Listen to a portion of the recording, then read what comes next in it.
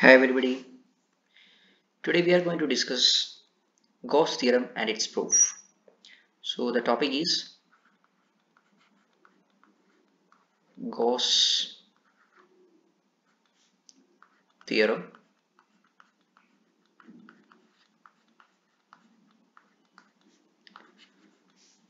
so हम सबसे पहले ये देखते हैं what is Gauss theorem Gauss theorem basically it gives the relationship between electric flux and uh, the charge enclosed by a closed surface.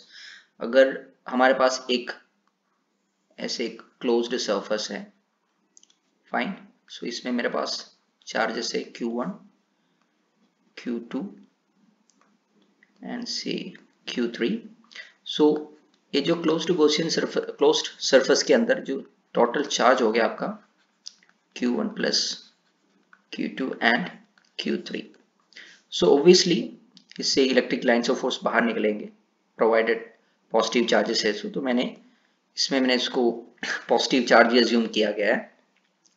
So so, obviously ये जो closed surface है मेरा इसमें से इलेक्ट्रिक फ्लक्स लिंक होंगे।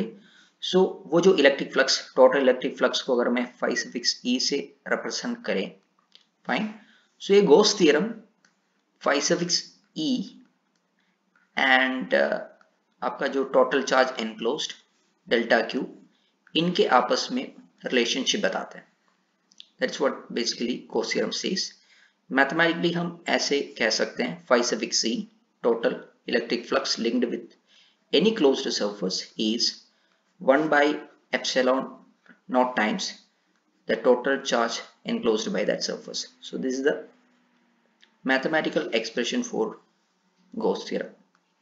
ठीक है? अब हम इसको प्रो करेंगे। So we are going to prove this so here comes the proof of that all right proof of Gauss theorem the proof तो इसके लिए हम क्या करने वाले हैं? देखिए I am going to consider a spherical Gaussian surface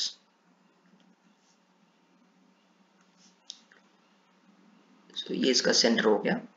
और इस सेंटर पे मेरे पास एक चार्ज है पॉइंट चार्ज है कैपिटल क्यू और ये देखिए, इधर R vector position vector consider करते हुए मेरे पास एक पॉइंट है P सो P जो है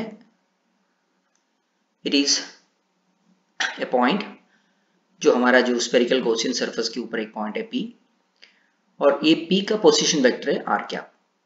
सॉरी R वेक्टर और ये P पॉइंट पे इलेक्ट्रिक फ़ील्ड जो है वो E वेक्टर है.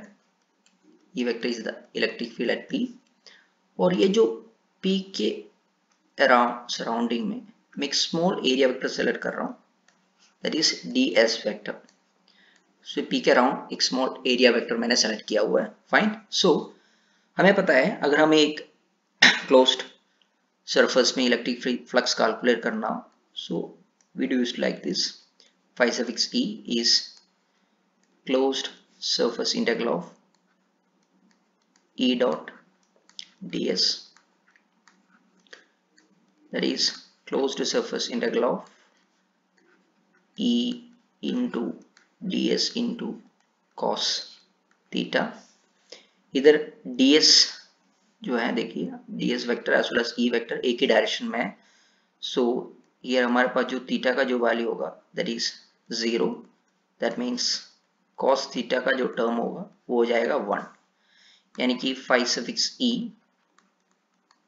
equals close surface integral of E into ds हो गया। ठीक है? ओके अब देखिए ये जो स्फीयर है, ये स्फीयर के हर पॉइंट हमारा जो चार्ज है चार्ज से इक्वल डिस्टेंस पे है। यानी कि इसके वजह से, ये कैपिटल क्यू चार्ज की वजह से ये स्फेरिकल सरफेस पे हर पॉइंट पे इलेक्ट्रिक फ़ील्ड का जो वैल्यू रहेंगे दैट विल बी उसका मैग्नीट्यूड अगर हम देखें that will be equal to one upon four by epsilon naught Q by R square रहेगा, यानी कि इसका मैग्नीट्यूड जो होंगे वो कांस्टेंट होंगे। फाइन सो जब हम इस पर्टिकुलर एक्सप्रेशन में हम इस फैक्ट को जब कंसिडर करें how it's going to be like it will be phi suffix E equal to E का वैल्यू कांस्टेंट है तो इसलिए वो बाहर आ गया। One upon four pi epsilon naught capital Q by R square into surface integral of D S vector fine अब आप देखिए, ये जो क्लोज्ड इंटीग्रल ऑफ़ एस ये क्या होगा? जब हम इसको इंटीग्रेट करेंगे दिस ये ये जो मिलेगा हमें that will be the surface area of this sphere surface area of the sphere given case में क्या होगा?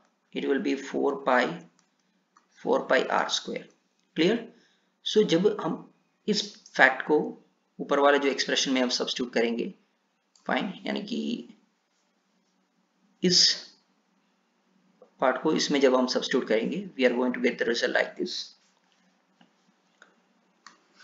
phi suffix E equal one upon four by epsilon naught Q by R square into four by R square four pi से four pi cut हो गया R square से R square cut हो गया. And our final result is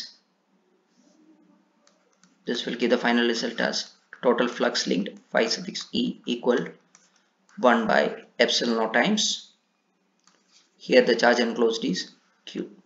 So, ये हमारा Gauss theorem prove हो चुका है। फाइन आप देख सकते हैं।